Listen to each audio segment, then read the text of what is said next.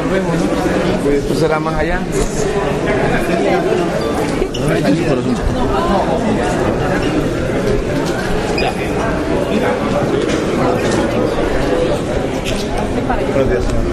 Había usted mencionado que quizá el día de hoy podría ser Sí. un llamado para los de, Hoy vamos a dar a conocer ya el documento que estoy enviando a todos los integrantes de las redes sociales para que nos ayuden en este proceso y que se haga valer la democracia, que todos ayudemos para que las elecciones sean limpias, sean libres.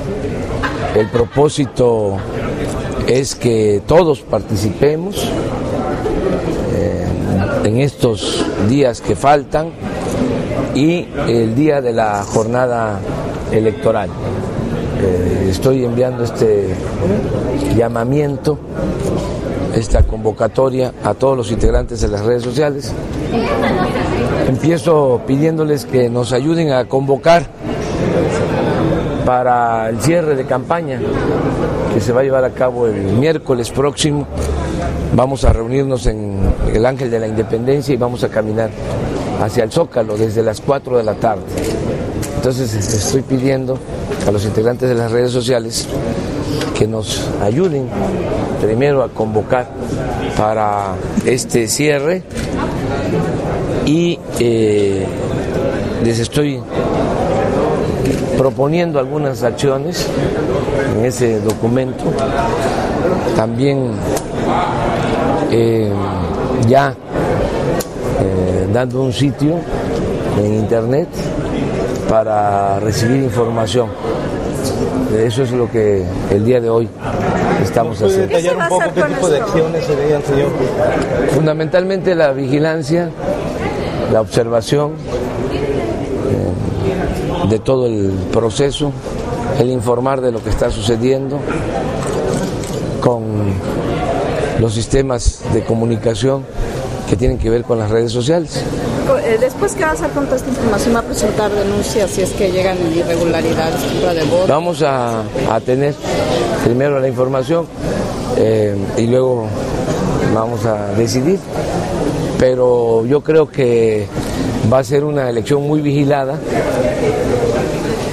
porque existe el instrumento que no había en el 2006.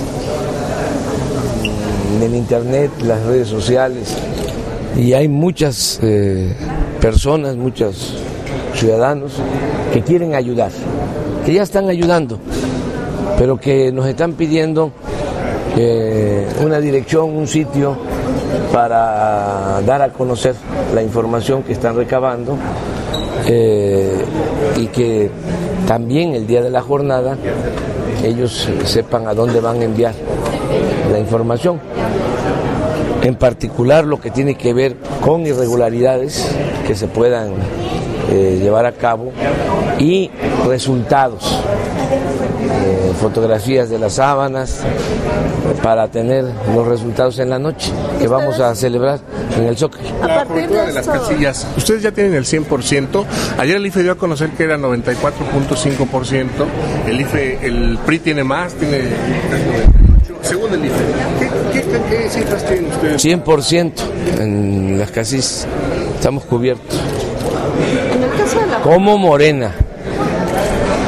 Aparte, son los que escribieron eh, el PRD, el PT y Convergencia. Están doblemente blindados. Estamos, sí, mejor representados.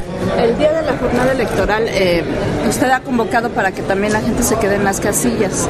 ¿Ustedes, digamos, tendrían su propio conteo a partir de la información que reciban en este sitio? Sí, vamos a tener información que vamos a estar transmitiéndoles a ustedes en su momento. Señor, con estos elementos gráficos o denuncias a las autoridades electorales podrían tener incluso la posibilidad de pasado el proceso, acabar más de información. Sí, vamos a tener toda la información sobre la, la jornada electoral.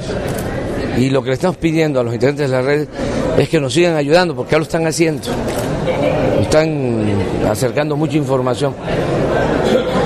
Pero que lo sigan haciendo, que sepan a dónde dirigirse y que eh, en los días previos, en las vísperas, jueves, viernes, sábado, estén muy atentos porque es cuando operan los mapaches eh, y el día de la elección tomando, lo del llamado a las redes sociales, lo de sus representantes, son suficientes para frenar lo que ha denunciado del PRI Veracruz y si tiene algunos otros casos en otros estados, tenemos otros casos, como en donde.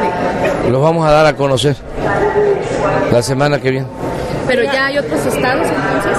¿Y es suficiente? ¿Es suficiente? Sí, porque hay muy buena organización abajo, ciudadana. Sí, por eso tenemos información. El dinero no va a comprar a... Sí, van a, a utilizar, están utilizando mucho dinero, mucho dinero, pero no les va a alcanzar. Además, este, hay tanta corrupción en el PRI que el dinero que bajan para comprar votos se queda en el camino, ¿Se lo van a embolsar? se lo clavan algunos, sí. Es lo que se llama en el argot periodístico el piquete de ojo. Hay mucho piquete de ojo ahí. Entonces, eh, pero es dinero, ¿eh? En maletas. Y ya tenemos eh, el informe. ¿Pero van a presentar queja con todo eso? Sí, y lo vamos a dar a conocer. Señor, aprovechando, eh, la PGR ayer confirma que no es el hijo de Chapo a este, golpes mediáticos del gobierno federal. ¿Qué, qué opina de este tipo de fallas? Pues no, tengo una opinión muy amplia sobre esto. Ando en otras cosas, como les consta a ustedes. Y ahora tengo eh, el propósito de que terminemos bien la campaña, que cerremos bien, nos está yendo muy bien en todos lados y con un ojo al gato y otro al garabato. No dejo de estar filiando a los patrocinadores de Peña, porque están muy nerviosos, desesperados. Se los digo eh, en honor a la verdad están muy nerviosos, muy desesperados. No les alcanzan los números. Y están al borde de una crisis de histeria. Entonces, estoy viéndolos, eh, fildeándolos, atendiendo nuestros asuntos y viéndolos a ellos. Eh, por eso no quiero distraerme mucho en opinar sobre si era o no era hijo ¿Pero no evidencia la, la ineptitud de las autoridades? Sí, pero eso lo pueden manejar. eh, Parte de lo que usted encontraría. Pero yo ahorita primero estoy atendiendo esto. Si no, pues eso es lo que van a manejar ustedes. No ustedes, sino allá les van a decir, mételo de la reacción del Chapo. No digas nada de las redes sociales. No digas nada que está convocando a las redes sociales. No digas que ya tiene la información de cómo van a operar y cómo van a bajar el dinero los del PRI. Entonces mejor vamos a dejarlo así. No, no, no. Quiero una nada más. En la campaña usted había mencionado que deben acompañar en este periodo desde Brad, este, Juan Ramón de la Fuente, todos. Todos están ayudando, todos están ayudando mucho, todos están ayudando mucho. Lo que pasa que pues cada quien está en su lugar, en su sitio. Oiga, eh, a una semana de la elección, ¿qué tiene usted? Vamos arriba. ¿Pero por cuánto? ¿Qué, qué, qué cifras nos puede? Es que eso es lo que tiene nervioso a los eh, periodistas. Mm, En las encuestas nuestras estamos arriba. Y hay mucho rechazo de los ciudadanos a las encuestas. O sea, la gente se está quedando callada ¿Y eso qué significa? de que va a haber sorpresa favorable, agradable. Hace seis años, este- día, usted tenía 34 puntos, usted tenía 36, Calderón 34. Y ahí por lo que pasó. Ahora estamos mejor. Ahora nosotros estamos arriba de Peña en encuesta, pero además hay una situación. Ahora estamos más organizados. ¿Por qué margen de diferencia usted con Peña? Pues fue lo que les dimos a conocer y no, no publican nada. O sea, así fraternamente, un reproche. Tanto que les queremos.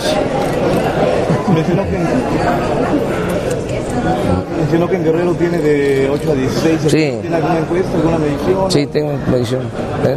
Aquí vamos arriba, en Tabasco vamos arriba, con mucho. eh, DF, 2 a 1. Nada más que eso no lo van a decir, estoy seguro. O sea, nada más me están sopeando. Oiga, ¿qué opina?